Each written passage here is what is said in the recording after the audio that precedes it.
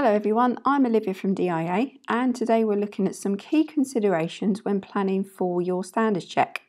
Um, this is a very important part of every ADI's career and we want to make sure that we get it right with some good planning and preparation. So um, there are some lots and lots of things to consider when taking your standards check, of course, but we're going to be looking at some of those today and um, exploring those a little a little bit further. So. Um, if you want to ask your questions as we go along, you're absolutely more than welcome. And what we're going to do is respond to those afterwards in the with the text box. So um, do ask them as we go through, and as I say, we'll go through them at the end and respond to you. So, as I say, lots of things to consider. There's lots of um, lots of planning, lots of things, but let's look at these three areas today. So, first of all, we've got the area. Let's start with that one. So once you know the area, then we can think of you know the options available. Most of us will, or in fact nearly all of us will know the area because it's where our local test centre is. Um, it's on the invite for your standards check, and you're going to know about that you know, a few weeks in advance. So you've got that little bit of time to go out and do a recce of the area if you're not sure. Um, you have tools like Google Maps, Google Street View, brilliant things that you can use, but nothing actually beats physically being there and looking around the area if you're unsure about anything at all. So the area and the lesson and all of that will depend on the type of roads there are there. So, for example, if you're thinking of planning a lesson on dual carriageways, because that's what your pupil needs that day, um, then okay, that's great.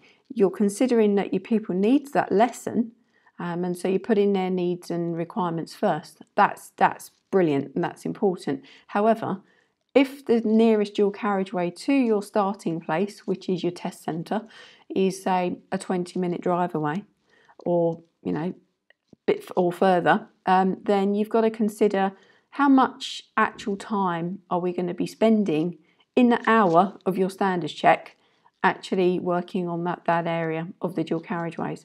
And when it comes to dual carriageways they're often you know they can be longer stretches of road if there was a if there was a hold up you're going to be stuck on it maybe a bit harder to get off or divert your route. So it's a bit of a risky move.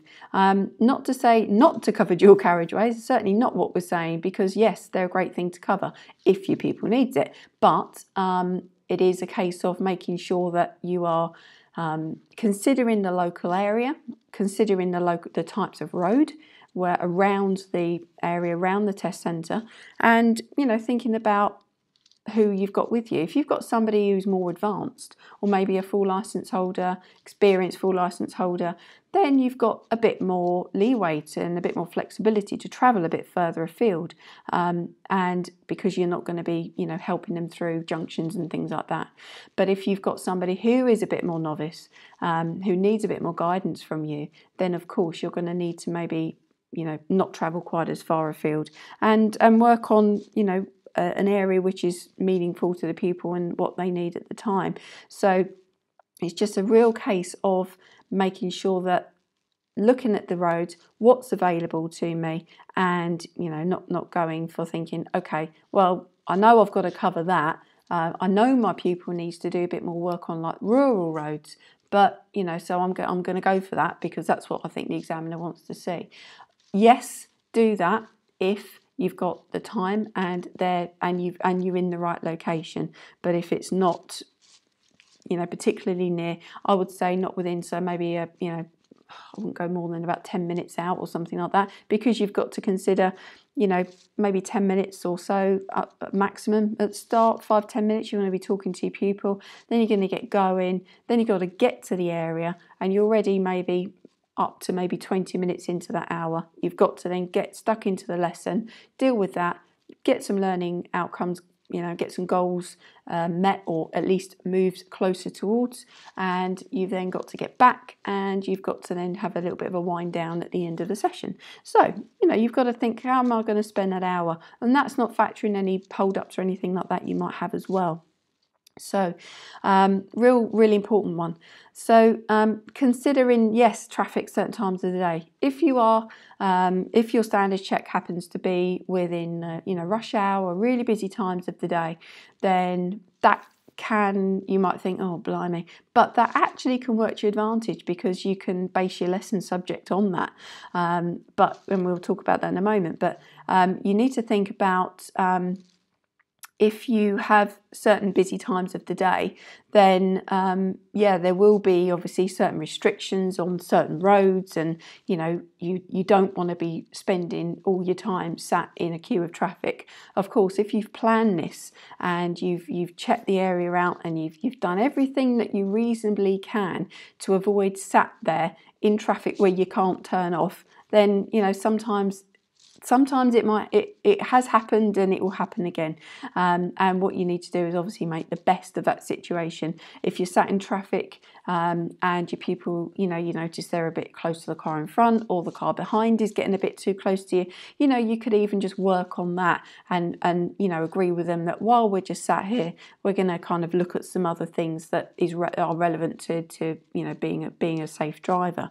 So there are other other ways you can kind of divert that. So um, picking up on other small clues and things. So, um, any roadworks? Um, I remember on my last standard check in particular that I did a, you know, had an idea where I was going to go. I didn't plan the route down to every single last junction because I think that you need a certain amount of flexibility in your plan. You just got to kind of know approximately, you know, maybe 90% of where you're going to go, but um, there needs to be some leeway, some level of flexibility within your plan in case you need to you know something happens you're dealing with a pupil you're dealing with a live situation so you might need to pull over you might need to cut a piece off your route or divert back sooner because you've had to pull over and have a discussion about something so you know anything can happen um, but i remember then i um, i did all that checked everything out everything was fine and then I, my standard check, I think it was early afternoon, so I was just sort of late morning. I thought, okay, I'll just go and have a quick check round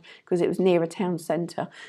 so as I was going around that town centre, excuse me, sorry, in the morning, um, I noticed that there was tons of roadworks everywhere that happened, um, and so you know it's looking for signs, looking for signs on you know lampposts, looking for roadwork starting on this date, you know basic things like that. I know they're kind of an ADI is very good at spotting these things because we need to make sure our lessons flow in general anyway, um, and we need to get between lesson um, between our lessons during the day, and we need to make sure that we can, you know, keep our keep our appointments on time. But um, it's also really important that um, you know maybe if you've got the time just to do that one last final recce of the area just to make sure because had I not done that I probably would have been a bit you know thinking okay plan B I'm now stuck in traffic. What am I what am I going to do? I need to keep this lesson going. I need to keep the pupil interested. I need to keep things relevant to that pupil at the time. So I need to start now looking for other things and you know and and, and doing that. So as well as the area um, you need to think about places that you might need to pull over. Um, obviously, if you've got the luxury and you know your area inside out, you'll know where you can stop legally and safely and where you can't. Um, if you, mm, you know, there's some parts of your route where you're not entirely sure, then do have a do have a look at where you know you could do that or if you feel, feel your pupil might need a little you know five minute breather um, and halfway through or something like that then you know always good to have that as a backup. Um, you never know when you'll need it so always have build that in. Um, thinking about if you did you know, if you did a motorway or dual carriageway or something like that, then think about in terms of changing the plan um, if you need to to pull over to discuss something. So um, if the driver, like we were just saying, needed to take a little breather, um, or you know, we wanted to have a quick discussion to reflect on something, or you know, a particular learning point in that session, um, what we need to do is make sure that um, if you are, um, you know, having somewhere to pull over is is one thing, um, but um, you know, thinking if I do go on this particular road, like we were saying at the beginning, um, I, you don't want to sort of end up getting stuck on somewhere where you can't turn off and your options of, you know, limited to none um, to divert your route. So, you know, just, just consider things like that as well. So, lesson subject or goal, whatever, however, you know, terminology you prefer to use. So, once we think about the area, because that's that's kind of a given, that's where the test centre is, and we need to work with that area and around that that area. Then we need to think, okay, um, like we were just saying, what type of area is it? Are there a lot of roundabouts? Are there country roads? Are there um, faster roads if we needed to get back out onto those sorts of areas? Um, is it just purely town? Are there home zones 20 mile an hour limits? Are there speed restrictions? Are there you know width restrictions? You know what type of area are you dealing with? Um, and thinking about okay so what type of you know that that's sort of the framework you know what what lessons can i then do in those areas? So again always ask uh, put first what the learner needs and not what you want to do. This can be a common pitfall when it comes to deciding on the lesson subject. Um, we do need to make sure that it is a you know it's a collaborative um, between the ADI and the pupil. We need to make sure that it's an agreement between you both that this is this subject that we plan to work on is going to be of benefit to the pupil at that time because that's where they are in their learning um, and that's what what will help them next. So um, sometimes it's happened and you know it, it, it might well happen again where an ADI possibly due to nerves or being anxious or um, dare I say maybe just being unprepared, um, then that can cause them to keep to an, an a subject where they are happier with. So it, it's they're staying within their comfort zone in order to cope with the stress of doing the standards check. And what they'll end up doing is scoring a lower mark because they won't be, you know, that lesson plan won't be suitable necessarily for that pupil. Um, they might be thinking, okay, I'm going to go and do roundabouts today, but the pupil can do the roundabout standing on the head. And so you're trying to make something out of that situation which, you know, isn't there. So you, you need to think about just bearing in mind pupils' needs come first. And I know a lot of ADIs know this, it's just always good just to reiterate a few of the basics from time to time. When it comes to that lesson subject, think wider than a typical PST. We've still got PST hangover. I think we should coin that as a phrase. Um, typical PST lesson, like we used to have years ago um, on check tests and uh, the old part three, where you know we had to think, okay, we need to do with junctions or approaching, and you know phase one, phase two. And I know that some of the real experienced ADIs, I've really, you know, they've they've moved on and they know what they're doing and they've think, okay, I know I don't have to stick to those subjects and fit within one of those pigeonholes, if you like. But there are still some ADIs that maybe, for one reason or another, are still, you know, got that train of thought. They're not, they haven't actually thinking, I can go and do pretty much whatever my pupil needs at this time as long as the area is suitable and things like that. So think wider. So um, you can do um, a lesson on distractions. Now that wasn't on uh, mentioned anywhere on any PST form or any check test form and things like that. However, it is a major, major part of driving, as we know, and it accounts for so many crashes on the roads every single day. So we need to make sure that um, if we're going to cover something like that, yes, we can. Um, if it's relevant, it's, it's suitable, it's applicable, um, and it's a nice flexible lesson too. So you can deal with distractions from you know, uh, from a novice driver point of view, you can deal with them from a full license holder experienced driver point of view, and anything in between. So you can adapt that broad subject um, to that person. And it is a broad subject because, um, and it might be, if you go in there with just the subject of distractions, you might find it's actually too broad and you haven't actually got very clear defined outcomes or goals for that session. Bearing in mind, you've got an hour session, so you've got to think, well, and if you can, you know, think of how many distractions there could be, you know, you can, I can think of, you know, 10 just now in, in a few seconds. So you can, you can't cover all of that. So what you need to do is boil it down to something which is perhaps more relevant, something you've noticed your people doing or not doing recently. Um, and you need to think about um, that point of view and that angle and, and narrow that goal down to be more specific. We've heard of SMART goals and they are so important. You've got specific, is it specific enough? Is the goal, is it narrowed down enough? Is it, um, sorry, I've got creaky chair, everyone, sorry about that. Um, is it specific enough? Is it measurable? So how will I measure the success? Will I know that you know success and uh, or you know, how's that happened? Has it happened? Um, is it achievable? Is it achievable within the time that we've got? Is it achievable for this particular person?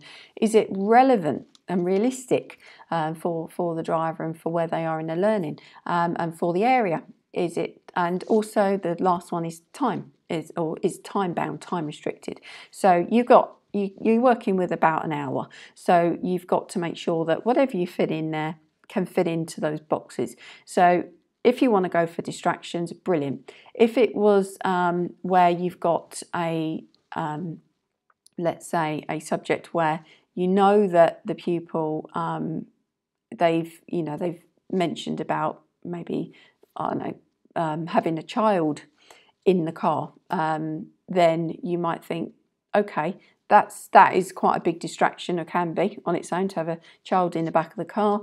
The child might be upset might be screaming its head off and you know that that will rattle everyone's brain. But when you're trying to drive and concentrate on that and trying to keep your child happy as well then that will obviously detract from all of your concentration being on driving. It we're all human and we've only got so much concentration so you are going to naturally be think, trying to divide and keep the car on the road, but deal with, with, with your child in the back of the car as well. So if you've got pupils in that situation, um, because we have um, questions coming in to us to say, you know, can I take um, my pupil wants to bring their car, uh, their child um, on the lesson? Yeah, they can. There's a few things and you know a few considerations, and if you're worried about that, then um, give us a call. We can have a chat with you about that. Um, in the main, yes, you can, but yeah, have, have a chat with us first, um, and and to think about, make sure you're considering everything. But um, so it might be a child distraction. Obviously, you're not going to bring your child or a child on a standard check, but it could be um, you can deal with it in theory. So you know you know that when your child starts screaming, then um, or you know they've dropped they've dropped their favourite toy or something like that, then what coping strategies are you going to be able to work out you know with them? So let's say for now we've got the child screaming in the back of the car we're driving along we're in this situation now. What are your options now? What could you do? So you know it could even be something as as as as that. I've literally thought that off the top of my head so you don't all go go in for that lesson plan necessarily but um, distractions. It can be you know mobile phones it can be um, something on your mind. Everyone's got stuff on their mind. Um, exam pressure, work stress, um, uh, you know, anything. So it can be, you know, just as an example, and that lends itself nicely, as I say, because it's a flexible lesson. It can work across a broad range of pupils that you might take with you on a standard check. And but the downside is you need to make sure it's a smart goal and a smart objective. So make sure you narrow it down to an aspect of distractions. That's you know top tip. So um, the person, right, so we need one of those as well when we're doing our standard check. So once you've narrowed down your options in terms of the area and your lesson you're covering, then we need to think, right, okay, who are we going to take? This is all often you know, probably one of the biggest head scratches that ADIs can face. And we need someone reliable, ideally someone that we have some great rapport with. So we want someone that we get a bit to and fro with as we talk, you know, so someone who um, who can understand and, and you know listen to us and and you know respond to us. We know that some some pupils that they you know they, they put all their concentration especially they're when they're more, more new to driving into the task of driving. And sometimes they might not be so responsive when you drive with them and you talk to them. So that's fine and we we work around that. But um, if we can if, and if you take that person with you that's fine. On the standards check you just have to you know agree with them um, in front of the examiner just so the examiner's aware of, you know, they don't know you, they don't know your pupil, they don't know how your pupil um, is going to respond. So, and you you know that better. So, and you've got the information. So, you know, share that at the beginning just before we set off to, you know, say, okay, you know, we're going to work in the usual way in terms of, are you happy with, um, me asking you questions, um, you know, some smaller questions maybe um, when you're less busy. Um, but if we need to discuss anything, you know, you're happy for us to continue as we normally do and, and maybe pull over and have a, have a quick chat about it. Would that be okay? And yeah, so, you know, you're just covering it off. You're just making sure those ground rules, that basic agreement of how you ADI and pupil are going to work together in that session. And the examiner sat in the back. You put yourself in examiner's position as well. You kind of want to know because if you if that if you didn't hear that and you're the examiner sat in the back of the, the car and you're looking at the back of the ADI and the pupil's heads, thinking, okay, well, do I know what you know? The, do I know this? What you know? How how are they? How's this going to work? So if if you hear that, then you're thinking, okay, this ADI knows they're aware of this. They've covered it off, and the pupil, you know, they've they've got agreement from the pupil that this is how it's going to work. So that's good. That's a good thing. Do your best to have a backup option if you can. Yeah, okay. Um, finding the right person is is some or finding a person sometimes is can or can be a challenge. Um, having a backup option can push our luck sometimes, but um, it's not beyond the realms of possibility. Um, a backup option, you know, can be anyone. I mean, who can you take you to a standard check? Pretty much anyone that holds a valid license for that car. So, you know, obviously, um, making sure that you know if you're if you've got a manual tuition car and you're going to do your standard check in that but they've got a full automatic license. Then you know you bear, bear those sorts of things in mind. But um, you need to think about uh, that was you know just a silly example but you know just just bear those sorts of things in mind. Um, if you have got um, someone else or you think oh, I don't know who I can take yes you can take friends and family. Um, you can do that. Um, if chances are friends and family may well be full license holders, maybe experienced full license holders. So you need to um, give consideration to if your bread and butter every day is teaching learners from a provisional point, provisional license point of view, getting tongue tied, then you need to give some consideration to if you are not used to dealing with full license holders and experienced full license holders, then they are a different animal. They are a different, you know, being. So you do, we do need to, you do need to consider that um, you will need a different approach with us. So again, if you find yourself in that situation, give us a call. We'll have a chat with you. Um, and but don't again fall into that pitfall thinking I'll take a full license holder because you know I'm perceiving that really that's going to be a might be a slightly easier option. Um, no, you you you still have to demonstrate certain training approaches um, and you know align them to how this person best learns. Um, so you know you have to bear that in mind all the time. Yeah, you can take pretty much anyone as long as they've got a valid license. Um, yeah, they can't be an ADI or somebody who's taking their part three. So that is a lot of what I wanted to cover for today. Just a few things to get you thinking, just a few considerations to bear in mind. And it would be great to hear any of your questions that you've got in a moment, and we'll go through and answer those.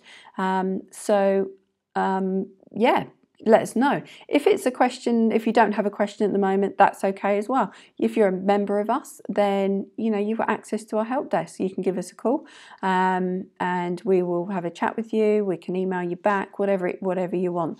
Um, if you're not currently a member and you're listening, why not? Come and join us. Come and see what we're all about. Um, have a look at our website, driving.org, and we'll be happy to discuss any aspect of our membership with you. And I'm sure we've got something for you as well. So, um, Lovely to have everyone listening today. Uh, thank you for your time, and we're going to be um, answering your questions soon. So, thank you very much.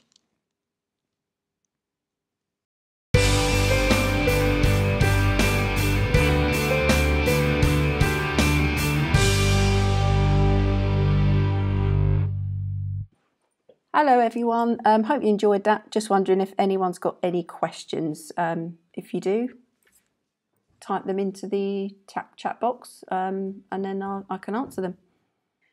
Hi, Pauline. Um, yes, your less your question um, would a lesson on spiral roundabouts be acceptable? Yes, it can be because they can be very complex junctions to, to do. So, um, obviously, I don't need to tell you, um, as long as they've had very good experience at roundabouts, large roundabouts, fairly complex roundabouts so far, and they've had adequate preparation. Um, you know, you can use the street view, uh, not street, well, yeah, you could use street view, you could use um, satellite view so they can see um, what the lanes are, where the lanes work. You know, you, you prep them properly for that. Um, if you're going to do that, the only other thing I'd say is you don't get you get roundabout after roundabout sometimes, but you don't often get spiral roundabout after spiral roundabout because they're quite specific. So I would say um, that if you did that, you would need to work out your route. So if spiral roundabouts is your learning, you know that's your goal, um, and there's you'd have to think, okay, what maybe what aspect of spiral roundabouts would your goal remember i mentioned about smart objectives. So with these smart objectives think what aspect of spiral roundabouts do i want my pupil to cover? What or what does my pupil need to cover?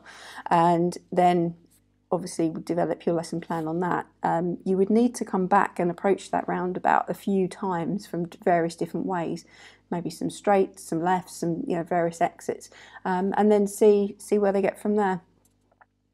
Um, information. Um, next question um, on what the examiner is looking for or scoring. Well, there's the S, SC1 standard check um, SC1 marking form.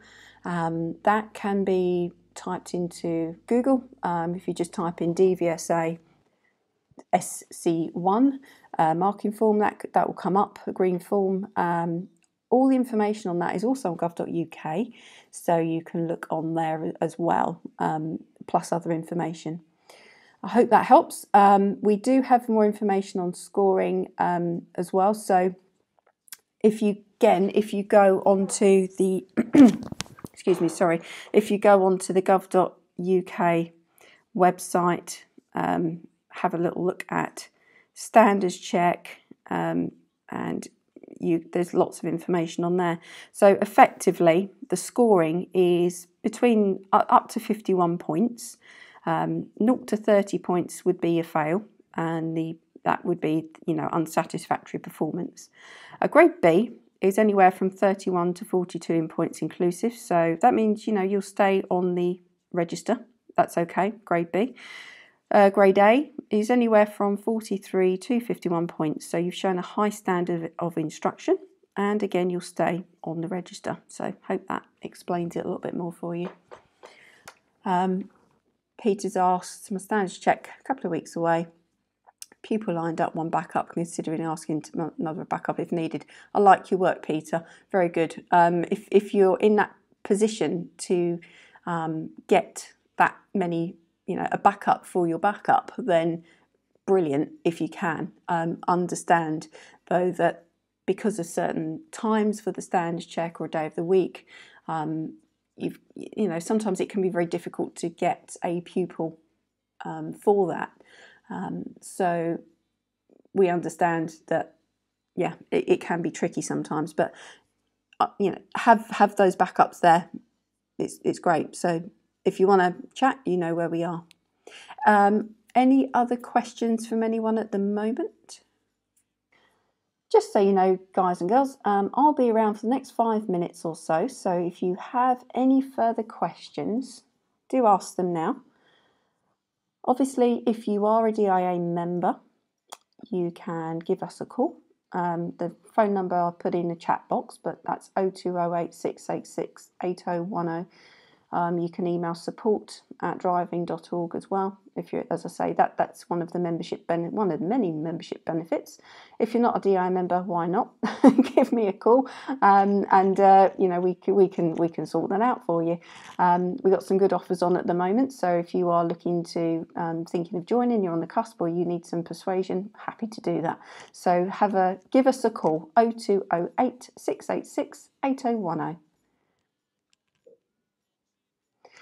So Pauline's asked, we'll fear the risk management section. Um, yeah, um, risk management can be one of those areas what we always kind of say to try and normalise, rationalise, whatever the word is for this, is the, f- the fact that every one of us, before the standards check came out in 2014, um, before there was a little section on the marking form that says risk management, um, and we know that that can be a uh, you know that on its own can be a make or break for us in terms of the result.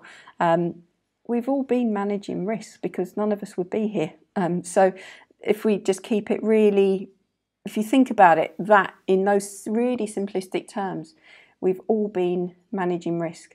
Um, again, if you look at further information, you get the SC1 marking form. So you've got the areas of risk management, the lower competencies on there. Um, you can cross link that um, to the um, DVSA ADI1 document. Again, you can find that on Google. You can then that what that document then does it breaks down what typically the DVSA would be looking for in terms of showing competence for that area, and and equally no, no not competence. We do have a book called the the um, DIA Essential Guide to the National Standards and Standards Check. So again, um, lots of people have books. Um, sorry, lots of people worry about the standards check and they worry about the risk management, but also make sure that you are really up to date with the national standards for driver and rider trainers as, as a start.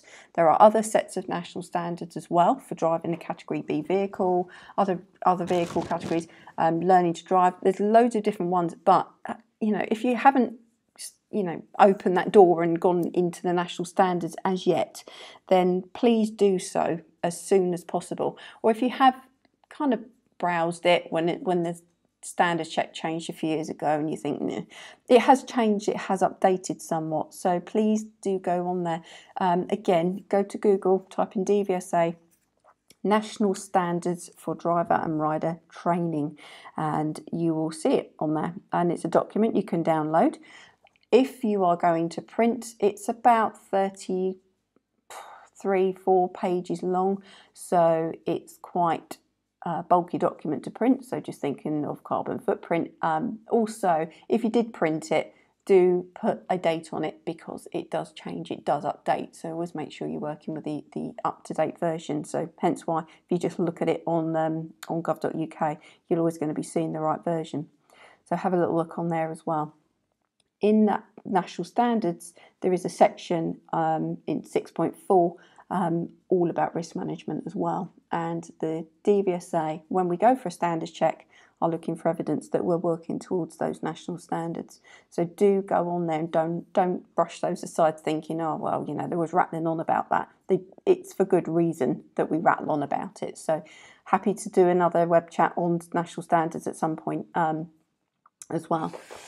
Um, someone else uh, is, is taking a brand new learner, not realistic for standards check, may have to drive them to suitable location, start and end. Yeah, um, you can take a new learner. What we would advise you to um, avoid is doing a controls lesson because you're not going to be hitting all of those lower competencies on that marking form by sat at the side of the road doing controls. So really avoid doing that.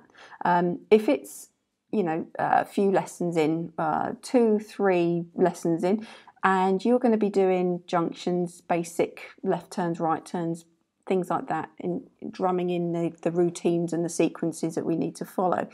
That that is fine. Um, if your uh, test centre is um, in a busy area and you've got um, a, a, suitable training area for that level of um, pupil, a few minutes away, then you can drive them to that area. When you meet your examiner at the beginning, do tell them what your plan is and what, what that's what you're going to be doing and you've agreed it with the pupil. And make use of that few minutes drive from the test centre to the training area in terms of MSM routine, get and demonstrating what you're doing and why you're doing it and what you're seeing and all of that. So re- making real good use of that time and make it quite interactive. Do it on the way back as well. Um, if there's been any particular areas that they need to work on or, or something like that that's flagged up during that lesson, during that standard check, then you could then demonstrate that on the way back. Um, you could even, if they're picking up quite well, you could even get them to tell you and give you some direction from the passenger seat on the way back. And so they can see if you did this at this point, that could happen. Obviously, you don't want to go too far with it, but you can you can pick them up and and, and take them somewhere and, and do the same back. Um, can we record audio and video of a standard check? Um, well, the, the DVSA's rules on cameras, as I'm sure you're aware, is cameras, dash cams can face outside the vehicle, so they can face forward at the front and they can face outwards at the back. Um, but unfortunately, the, the, same rules apply for a standards check. So no audio, um, no inward facing camera, but outward facing is okay. Um, so um, someone is saying they might consider taking their, their wife, full license holder, several bad habits. Mention, if I mentioned at the beginning of the test, my concern is she would drive perfectly.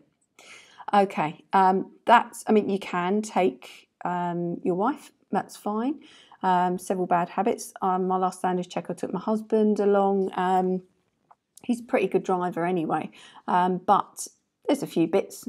No one's a perfect driver, are they? So there were there were a few few areas, and so well, I worked on them and and um, and to his to his level and his ability. Um, what I would say is, if you are not used to taking a full license holder, and I mean this with the greatest of respect to everybody because some ADIs, they're bread and butter and they really specialise in teaching provisional licence holders and that's where they excel. Um, and some people will, um, and then they're not so used to dealing with a, a full licence holder. Um, you do need a different approach with a full licence holder that could be a subject for another day. So, what I would say to that is yes, you can take your wife. You don't have to hide that she's your wife. You can say, I've brought my wife along with me today. That's fine. Um, and you can say, you know, do, do the lesson that, that you need to do. Um, but make sure you're not too telltale. And if you're not used to dealing with all license holders, then um, I would say give us a call and we can have a chat about that in more depth on the help desk if you if you wanted to.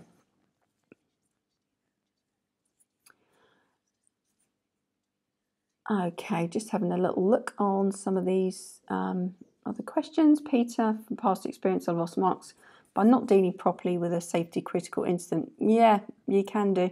Um, depending on the circumstance, depending on the context and what happens, yeah, you you you you you, will do if you you will lose marks if, if you don't don't deal with it. Um, so yeah, um, obviously, if you wanted to discuss that a bit further and have provide a bit more information, then you know where I am. Happy to chat with you. I've spoken with you before, so that that'd be great. Um, can we do awareness and planning um, on from Crawley? Um, hi, Jack. How are you doing? I haven't, see, haven't seen you for a while. Um, yes, um, I'll tell you what, drop me an email. Training at driving.org is the email for, for you guys if you wanted to get in touch with any of this stuff or the phone number as I gave it earlier. Um, yes, I'm happy to do happy to do anything if, if, if you guys want it. Just just say. Um, Pauline, thank you um, as well. So uh, one on risk management. Yeah, that's fine. I have done them in, in the past on risk management. Um, but yes, we can certainly look into that, no problem. Okay, so that seems to be all your questions at the moment. Hopefully, I've answered them okay for you. Um, as I say, some of them, if I, you know, require maybe a bit more information just to pad out the, the certain context that you're talking about. And um, so you've got the email, you've got the phone number. Happy for you to get in touch with us, and we will we can have a more of an in-depth conversation with you. Okay, so I'm going to be signing off in a in another few seconds now. So I'd like just to say thank you to everybody for attending, um, and uh, we will be doing some more webinars, and so you'll see some more information coming out about the next subject soon. In the meantime, happy Friday, everyone. The sun's out. Make sure you got your sun cream on for tomorrow. No driver's tans, and um, and uh, we'll we'll we'll catch you soon. Take care. Bye.